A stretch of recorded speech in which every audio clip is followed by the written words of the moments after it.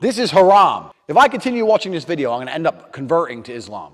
This is why the Muslim world refuses to liberalize. You do know that. And I don't blame them.